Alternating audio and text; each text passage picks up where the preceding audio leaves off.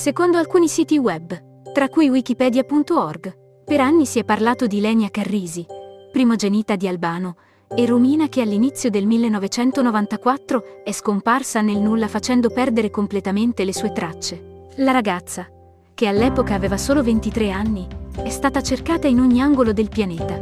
Nel corso delle indagini, diverse sono state le segnalazioni, i depistaggi e le false speranze. Gli inquirenti hanno fatto di tutto per trovarla senza mai riuscirci. Il caso della giovane è stato così contorto e travagliato da essere stato completamente archiviato da una sentenza di morte del Tribunale di Brindisi, che nonostante l'inesistenza di un cadavere, ha definito la data del decesso nel primo dicembre del 2014.